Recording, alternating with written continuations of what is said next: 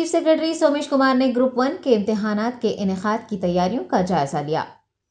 CS ने Telangana state public service commission chairman doctor B Janardhan Reddy, DGP Mahender Reddy, जिला collectors, police commissioners और सुप्रिंटेंडेंट्स के हमरा teleconference की और 16 अक्टूबर को मुनद ग्रुप वन के प्रीलिमिनरी इम्तहान के लिए किए जाने वाले इंतज़ाम का जायजा लिया।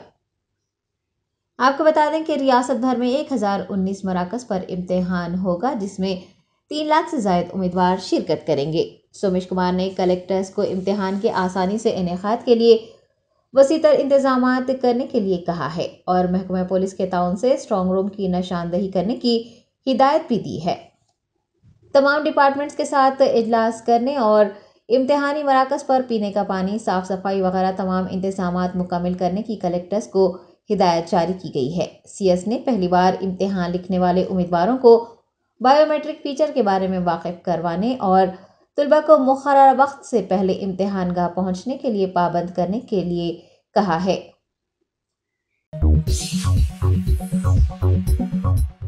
ऑल इंडिया मजलिस मुस्लिमीन के फ्लोर लीडर अकबरुद्दीन ओवैसी ने हैदराबाद मेट्रो रेल के एमडी एनवीएस रेड्डी से मुलाकात करते हुए उन्हें एक याददाश्त पेश की है।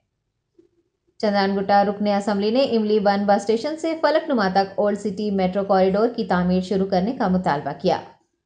उन्होंने बताया कि मजलिस मुस्लिमीन की मौसर नुमाइंदगी पर हुकूमत तेलंगाना ने पुराने शहर में मेट्रो ट्रेन खदमात का आगाज़ करने के लिए 500 करोड़ रुपये के फंड्स मख्त किए हैं। उनका कहना है कि मजलिस ने रियासती हुकूमत से मेट्रो रेल प्रोजेक्ट की तकमीली के लिए टाइमलाइन मुकर करने की भी दरख्वास्त की है। अकबरुद्दीन ओवैसी ने एन वी एस रेड्डी पर ज़ोर दिया है कि वो जल्द अज जल्द ओल्ड सिटी में मेट्रो कॉरिडोर की तामीर का आगाज़ करने को यकीनी बनाएँ। तेलंगाना के वज़ीर इंफॉर्मेशन टेक्नोलॉजी के तारक रामा राव का कहना है कि मुल्क की कोई कौमी जबान नहीं है, हिंदी जबान दीगर सरकारी जबानों में से एक है। के टी आर ने इल्ज़ाम लगाया कि एन डी ए हुकूमत आई आई टी और मरकज़ी हुकूमत की जानब से भर्तियों के लिए हिंदी जबान को लाजमी करार देकर वफाकियत की रूह को कमज़ोर कर रही है। समाजी रबते की वेबसाइट ट्विटर पर के टी आर ने लिखा है कि लोगों को अपनी ज़बान चुनने का हक हासिल होना चाहिए। आइए हिंदी ज़बान को ज़बरदस्ती नफाज करने की मुखालफत करें। आपको बता दें कि मरकज़ी वजी दाखिला अमित शाह की जेर क़्यादत पार्लिमानी कमेटी ने तजवीज़ पेश की है कि I I T I I M S और एम्स गैर तकनीकी इदारों, नौदिया विद्यालयों में सिर्फ़ हिंदी मीडियम लागू किया जाए। तजवीज़ ये भी है कि अंग्रेज़ी मीडियम को सिर्फ़ चंद इलाकों में जारी रखा जाए, जहाँ उसे लाजमी समझा जाता है। के ने पार्लिमानी कमेटी की सिफारिश पर अपने शदीद रद्दमल का इजहार किया और इंतबा दिया है कि हिंदी ज़बान का ज़बरदस्ती नफाज मुल्क के आइन और दस्तूर की खिलाफ वर्जी के मुतरदफ है और इसके संगीन नतज बरामद हो सकते हैं। बंजारा हिल्स पुलिस हदूद में एक कार से पुलिस ने 12 करोड़ रुपए जब्त कर लिए हैं। तफसलात के मुताबिक वेस्ट टास्क फोर्स और बंजारा हिल्स पुलिस ने एक मौसू इतला पर कार्रवाई करते हुए रोड नंबर 12 पर एक कार को रोक कर तलाशी ली। तलाशी के दौरान कार में नगद रकम पाई गई। कार में सवार अफराद से जब पुलिस ने रकम से मुतल दस्तावेजात तलब किए तो वो दस्तावेजात पेश नहीं कर सके, जिसके बाद टास्क फोर्स टीम ने रकम जब्त कर ली और रकम समेत इन अफराद को मजीद तहकीक़ात के लिए बंजारा हिल्स पुलिस के हवाले कर दिया। पुलिस ने एक मुकदमा दर्ज करते हुए तहकीक़ात का आगाज़ किया है।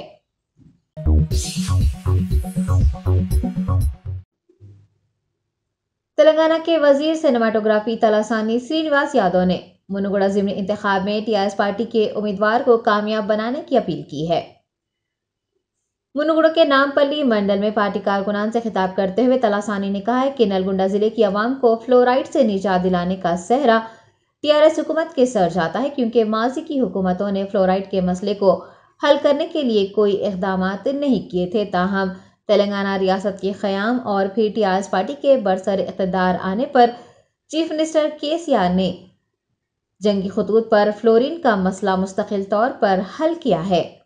मुनगुड़ू बीजेपी उम्मीदवार कोमटी रेड्डी, राजगोपाल रेड्डी को अपनी तनकीद का निशाना बनाते हुए तलासानी ने कहा कि एक शख्स के मफाद के लिए ज़िमनी इंतखब मुनद हो रहा है, जिसे एम एल ए मुंतखब हुए चार साल गुजरने के बाद हल्के की तरक्की याद आई। रियासती वज़ीर ने कहा कि लोगों के मसाइल को हल करने की ज़िम्मेदारी भूल कर वो ठेकों पर तवज्जो दे रहे हैं। अवामी मसाइल के हल के लिए मुसलसिल काम कर रही टीआरएस पार्टी के साथ ताउन करने और इंतखाब में टीआरएस की जीत को यकीनी बनाने पर तलासानी ने जोर दिया है రోజు టీవీ పేపర్లో చూస్తే ఇదే కార్యక్రమం జరుగుతుంది మొన్నలాగానేమో నేను కాంట్రాక్ట్ తీసుకోలేదని చెప్పి రెండు రోజుల కింద అవును నేను కాంట్రాక్ట్ తీసుకున్నాను చెప్పి మరి మా మంత్రి గారు ఏం చెప్పారు ఒకవేళ ఆ పద్దెనిమిది వేల కోట్ల రూపాయలు ఈ యొక్క మునుగోడు నియోజకవర్గానికి ఖర్చు పెడతామంటే మేము పోటీ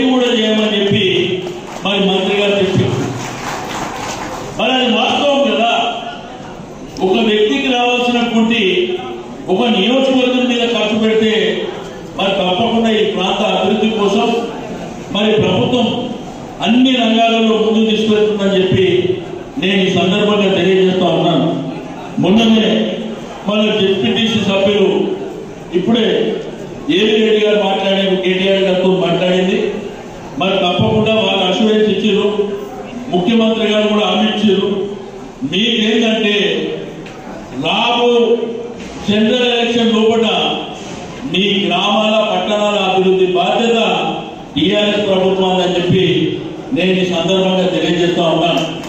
కాబట్టి మీరందరూ ధైర్యంగా ముందుకు వెళ్ళవలసినటువంటి అవసరం ఉన్నది. ఈ మండలానికి సంబంధించి మరి ఈ పట్టణానికి సంబంధించి మరి నేను పూర్తి బాధ్యత తీసుకొని ఉంటా. మీ అందరికీ ఏదైనా చిన్న చిన్న మనస్పర్ధలు ఉంటే కూడా అవన్నీ పక్కన పెట్టి మన పార్టీని మనం గెలిపించుకోవాల్సినటువంటి అవసరం ఉన్నది నేను వార్డు మెంబర్ల నుంచి ఎంపీటీసీలు సర్పంచులతో పాటు నాయకులు కార్యకర్తల వరకు కూడా మరి అందరినీ సమన్వయం చేసుకొని మన పార్టీ గెలిస్తే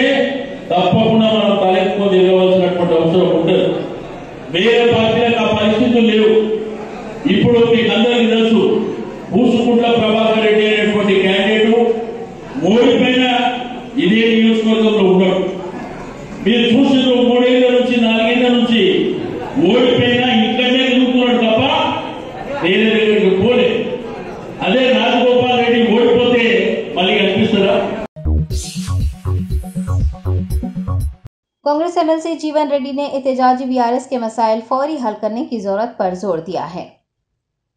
असेंबली मीडिया पॉइंट पर प्रेस कॉन्फ्रेंस से खिताब करते हुए एमएलसी ने कहा है कि हुकूमत ने बीआरएस के मसले को हल करने के लिए कोई पहल नहीं की है और रेवेन्यू एम्प्लॉयज़ एसोसिएशन भी कोई जवाब नहीं दे रही है। बीआरएस के एहतजाज की तायद करते हुए जीवन रेड्डी ने कहा कि हुकूमत को बीआरएस की कोई परवाह नहीं है, जबकि वो आवाम और हुकूमत दोनों के लिए अहम है। बीजेपी रहनुमा व मुनुगुड़ा उम्मीदवार कोमटी रेड्डी, राजगोपाल रेड्डी पर नाराज़गी जताते हुए उन्होंने कहा है कि मुनुगुड़ के मसाइल को हल करने के लिए कोमटी रेड्डी, राजगोपाल रेड्डी ने कई मौक़ों को नज़रअंदाज किया। शिवनागुड़म के किसानों के लिए कभी धरना तक नहीं दिया और न ही मुआवजों के लिए भूख हड़ताल करने वालों का साथ दिया।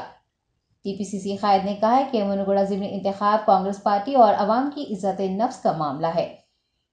इंतबात के पेश नज़र रकम की तकसीम पर नुकताचीनी करते हुए जीवन रेड्डी ने कहा कि बीजेपी और टीआरएस दस हज़ार रुपये देने के लिए तैयार हैं, लेकिन वोटर्स अक्लमंद हैं। सन उन्नीस सौ छियानवे में हुए ज़िमनी इंतखाब का ज़िक्र करते हुए कांग्रेस उम्मीदवार का कहना था कि उन्होंने भारी अक्सरियत से कामयाबी हासिल की थी और तमाम आजमाइशों के बावजूद उनकी जीत हुई थी। कांग्रेस उम्मीदवार के हक में अपने वोट का इस्तेमाल करने की जीवन रेड्डी ने आवाम से ख्वाहिश की है। विलेज रेवेन्यू असिस्टेंट जो है गए से दो महीने से जो उन लोगों की पे स्केल रेगुलराइजेशन के बारे में। ये पे स्केल रेगुलराइजेशन के बारे में खुद चीफ मिनिस्टर साहब जो है सितंबर 2020 में असेंबली में ऐलान करें। वीआरएस को जो है, जो वीआर वो सिस्टम निकाल दे रहे, अब वीआरएस उससे कोई घबराने की ज़रूरत नहीं है। आपको पे स्केल देकर जो वीआर वो खाली हुआ और ज़रूरत पड़े तो वो दर्जा तक आपको ले जाऊँगा, बोल के बोले साहब अब वो वीआर वो डिमांड से फुलफिल करने के वास्ते जो स्ट्राइक कर रहे, कल जो है यहाँ पे इंदिरा पार्क के जो धरना के वास्ते आया था, पूरा जनाने को भी नहीं देखते हुए जो लाठीचार्ज करके, अरेस्ट करके रात में 12 बजे तक स्टेशन में रखे, मैं इसको जो है मसम्मत कर रहा हूँ। यह हुकूमत जो है ये वी आर का डिमांड से जितने जल्दी हो सके तो उसको सालों करके तो उन लोगों को पे स्केल्स देना और उन लोगों की दिगर मसाइल भी हल करना बोल के डिमांड कर इंस्टीट्यूट ऑफ़ इंक्लूसिव गवर्नेंस के जेर एहतमाम लीडरशिप ट्रेनिंग क्लासेस का उस्मानिया यूनिवर्सिटी के फासिलाती तालीमी मरकज़ में आगाज़ हुआ है। मरकजी वज़ीर बरए सियाहत जी किशन रेड्डी ने इन तरबियती क्लासों के अफ्ताही प्रोग्राम में बतौर मेहमान खसूसी शिरकत की।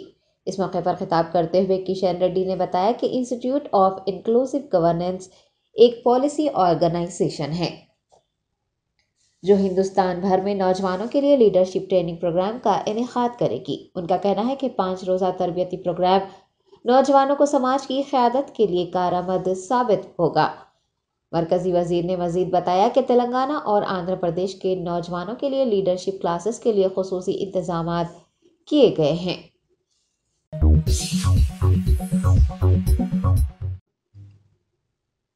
गुलशमेल रुकने असम्बली राजा सिंह पर आयद पीडी एक्ट को मनसूख करने का मुतालबा करते हुए लोध समाज ने आज एहतजाज दर्ज करवाया। धूलपेट इलाके में मंगलहाट और गोशा महल के तकरीबन 150 से जायद राजा सिंह के हामियों ने एहतजाजी धरने में हिस्सा लिया और हुकूमत के खिलाफ मुजाहरा किया। एहतजाजियों ने पी डी एक्ट को मनसूख करने और मुतनाज़ रुकने असम्बली को रिहा करने की मांग की है। एहतजाज की इतला मिलने पर पुलिस ने फौरी वहाँ पहुँच कर उन्हें हिरासत में ले लिया और मुख्तलिफ़ पुलिस स्टेशन को मुंतकिल किया है। किसी भी नाखुशगवार वाक़े को पेश आने से रोकने के लिए इन इलाकों में पुलिस की भारी जमीयत को तैनात कर दिया गया है। हल्का असम्बली उपल के एमएलए बैती सुभाष रेड्डी के हाथों चरलापल्ली डिवीज़न के तकरीबन 400 नए आसरा पेंशन इस्तफादा कुनिंदगान में आसरा पेंशन शनाख्ती कार्ड की तकसीम अमल में आई है। इस मौके पर खिताब करते हुए एमएलए ने कहा कि तेलंगाना हुकूमत वो वाद हुकूमत है जो पसमानदा तबकात के लोगों को तहफ़ और इज़्ज़त नफ्स के साथ ज़िंदगी गुजारने का मौका फराहम कर रही है। सीएम के सी आर ने ज़यीफ़ और माजूर अफराद को पेंशन देने के साथ साथ मरीजों और बेवा खवातीन को भी पेंशन फराहम करने के इकदाम किए हैं और इस तरह की स्कीम मुल्क में कहीं और मौजूद नहीं है। रियासत में नाफिज की गई तमाम तर फलाही स्कीमात का ज़िक्र करते हुए बी सुभाष रेड्डी ने कहा कि तमाम तबकात के लोगों को फ़ायदा पहुँचाने के लिए के सी आर की जानब से इकदाम किए जा रहे हैं और हज़ारों लोग इससे इस्तफादा हासिल कर रहे हैं। इस प्रोग्राम में काबरा म्यूनसिपल सर्कल के deputy Shankar, Charlapally division corporator Bontu Sridevi सबक corporator Singi Reddy, Dhanpal Reddy TR senior कायदीन division सदर पार्टी कारकुनान, खवतिन व दीगर ने शिरकत की।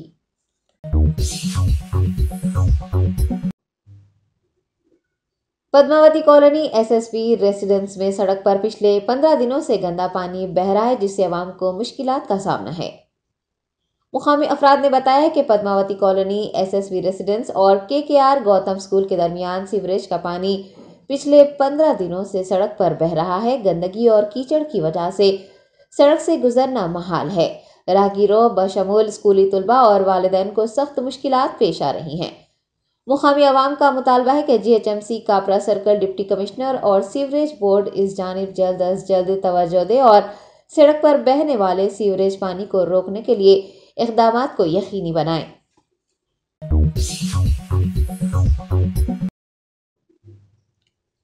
आसिफ नगर ट्रैफ़िक पुलिस की जानब से खसूसी मुहिम चलाते हुए फुटपाथ पर मौजूद ठेला बंडियों होटलों और दुकानात को हटाया गया है।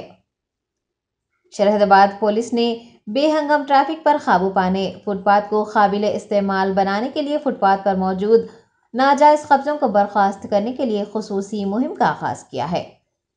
जिसे ऑपरेशन रोप का नाम दिया है। ऑपरेशन रोप के तहत आसिफ नगर ट्रैफ़िक पुलिस हदूद में फुटपाथ की साफ़ सफ़ाई नाजायज कब्जों को बर्खास्त करने के लिए इकदाम किए गए और होटल्स, ठेला बंडियों व दुकानात को हटाया गया। ट्रैफ़िक सीआई आसिफ नगर राम प्रसाद ने दुकानदारों को खबरदार किया है कि वो अपना सामान फुटपाथ पर ना रखें, वरना उनके खिलाफ मुकदमा दर्ज किए जाएँगे। मेलारदेवपल्ली पुलिस हदूद में एक खातून ने खुदकुशी कर ली। तफसलात के मुताबिक किंग्स कॉलोनी शास्त्रीपुरम की रहने वाली फातिमा सुल्ताना ने मुबैना तौर पर ईंधन छिड़क कर खुद को आग लगा ली, जिसके सबब वो झुलस गई और फौत हो गई। बताया गया है कि खातून ने यह इंतहाई इकदाम अफराद ख़ानदान की गैर मौजूदगी में किया। इतला मिलने पर पुलिस ने वहाँ पहुँच कर नाश को पोस्टमार्टम के लिए उस्मानिया अस्पताल मुंतकिल कर दिया है और मुकदमा दर्ज करते हुए तफ्तीश कर रही है। मीरपेट पुलिस स्टेशन हदूद में वाक़ पोचमा मैसमा मंदिर में। सरखे की वारदात पेश आई। सारखीन ने बीस हज़ार रुपये नकद रकम चोरी कर लिए। मौसूला इतलात के मुताबिक बडंगपेट श्री वेंकट दरी निवास कॉलोनी में वाक़ पोचमा मैसमा मंदिर से नामालूम अफराद ने मंदिर में मौजूद हंडियाँ तोड़कर नकद रकम चुरा ली। मंदिर पुजारी ने इस वाक़े की शिकायत पुलिस में दर्ज करवाई है। पुलिस मुकदमा दर्ज करते हुए सारखीन की तलाश में मसरूफ हो चुकी है। समाज दर्पण के जेर एहतमाम सिल्वर जुबली, मजाहिया मुशायरा और हासिया कवि सम्मेलन तेरह अक्टूबर को रविंद्र भारती में मुनद किया जा रहा है। समाज दर्पण के बानी व सदर शुजात अली रिटायर्ड आईएएस ने मीडिया के नुमाइंदों से बात करते हुए बताया है कि बढ़ती महँगाई, नफरत, कशीदगी और नासाजगार हालात से जहनी तौर पर परेशान अफराद के लिए एक ऐसा माहौल फराहम किया जाना ज़रूरी है जहाँ उन्हें मुस्कुराहटें, खैखे और बेफिक्रियाँ मिलें। अपने मौजूदा हालात से बेफिक्र होकर वो एक नई तोानाई के साथ ज़िंदगी की नई शुरुआत भी कर सकें। शुजात अली का कहना है कि मजाहिया मुशायरे ऐसा माहौल फराहम कर सकते हैं और समाज दर पर गुज्त पैंतालीस साल से ज़ायद अरसे से ये खदमात अंजाम दे रहा है। पच्चीस बरसों से मुशायरों के ज़रिए अदबी सकाफती माहौल फराहम किया जा रहा है। कल मुनद होने वाले मजाहिया मुशायरे में उर्दू और हिंदी के मुमताज़ मजाहिया शोरा और कवि हिस्सा लेंगे। शायकीन तंजो मिज़ा को इस मुशायरे में दाखिले की आम इजाज़त हासिल रहेगी। मज़ीद तफसीत के लिए phone number eight zero zero eight five nine six eight nine zero पर रब्त करने की ख्वाहिश की गई है। दर्पण जो 1976 में क़ायम किया गया था उसके बैनर तले तेरह अक्टूबर को साढ़े सात बजे शाम हैदराबाद की शान रविंद्र भारती थिएटर में पच्चीसवां सालाना मिजाहिया मुशायरा और हासिया कवि सम्मेलन उर्दू और हिंदी का मुलाजिला प्रोग्राम मुनद हो रहा है। और हम ये चाहते हैं कि हैदराबाद में जो हैदराबाद जो, जिसके बारे में ये कहा जाता है कि ये ज़िंदा दिलों की बस्ती है तो ज़िंदा दिलों की बस्ती का जो ज़ौक़ है, उसको बरकरार रखने के लिए हम ये प्रोग्राम कर रहे हैं। इस मुशायरे में बैरून हैदराबाद से भी शोरा शरीक हो रहे हैं। मुकामी शोरा के अलावा हिंदी के मशहूर शोरा इस प्रोग्राम में हिस्सा लेंगे। और ये जो मुशायरा है, ये ओपन टू आल है।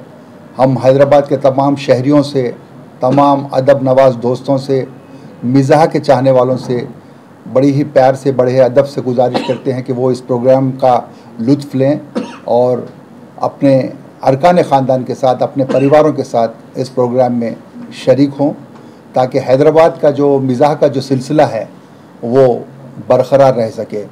हम फिर एक बार आप सबसे गुजारिश करेंगे कि आप इस प्रोग्राम में शरीक रहें। रियासत आंध्र प्रदेश के कृष्णा ज़िले में आरटीसी बस तेज रफ्तारी के सबब हादसे का शिकार हो गई है। तफसलात के मुताबिक कृष्णा ज़िले के पेदा परूडी मंडल में आरटीसी बस का ड्राइवर तवाजुन खो बैठा जिसके नतीजे में बस खेत में जा गिरी। हादसे के वक्त वहाँ मौजूद अफराद फौरी हरकत में आ गए और उन्होंने बस में सवार मुसाफरीन की मदद करते हुए उन्हें बस से बाहर निकाला। बताया गया है कि बस में मौजूद तीस मुसाफिर महफूज हैं। मस्कुरा बस भीमावरम से विजयवाड़ा जा रही थी। रियासत आंध्र प्रदेश के ज़िले अनंतपुर में मूसलाधार बारिश के सबब आने वाले सैलाब में कई इलाके डूब गए हैं। अनंतपुर के रुद्रमपेट और नायदी मनकला मुकम्मल तौर पर डूबे हुए हैं। मुकामी अफराद मकानात में पानी दाखिल हो जाने और बरकी सरबराही मुनता हो जाने से परेशान है। इंतज़ामिया की जानब से रेस्क्यू और रिलीफ की कार्रवाइयाँ जारी हैं। महकमे मौसमियात ने आंध्र प्रदेश में चार दिनों तक बारिश की पेश गोई की है और हुकाम को अलर्ट रहने का मशवरा भी दिया है, क्योंकि शदीद बारिशों के जेर असर तालाबों और नहरों के लबरेज होने का खदशा है। आवाम को बारिश के दौरान दरख्तों के नीचे न खड़े होने, तालाबों, नहरों और नालों के करीब ना जाने, बर्फ़ी खंभों और तारों को ना छूने की हिदायत भी दी गई है।